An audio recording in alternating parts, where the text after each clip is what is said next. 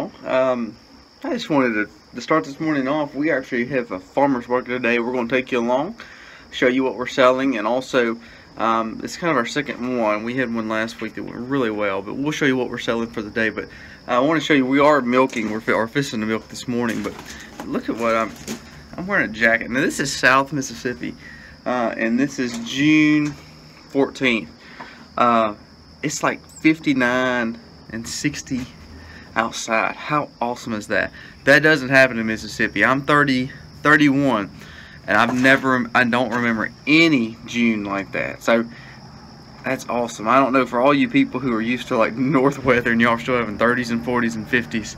Uh, excuse my happiness with 60, but uh, usually around this time of year, it's around 85 at at uh, 5:30 and 6 and 95 during the day. So uh, very excited. So we're gonna milk and then we're gonna show you what we're gonna take and then we'll take you along to the farmer's market. All right, Jack, get off. We're actually back inside. We're gonna process the milk real quick and then we're gonna kind of show you a little bit uh, of what we're taking to the farmer's market. But you can see Misty is actually still making sunscreen uh, and we'll link that video right here.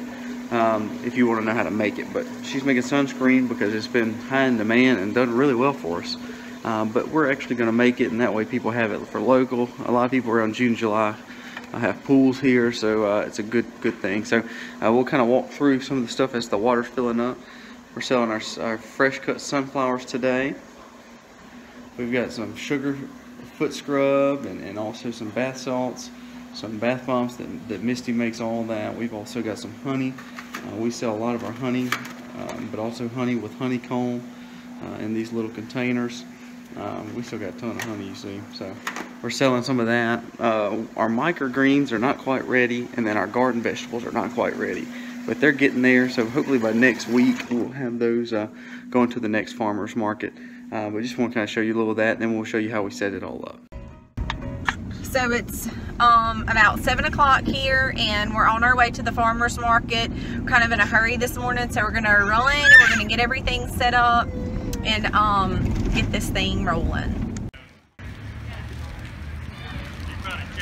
Alright, we're at the farmer's market. We we've had a good morning. It's we got here around 7:30. It's close around 7:30. It's about 9:30 now, but it's been a good morning for us. We have we're selling just really some of the stuff that Misty's made videos on, which is our bath bombs and our our soaps, some sunscreen, lip balm, all the things that you could find uh, on videos, and Misty will link those in this one. Um, we have our honeycomb honey.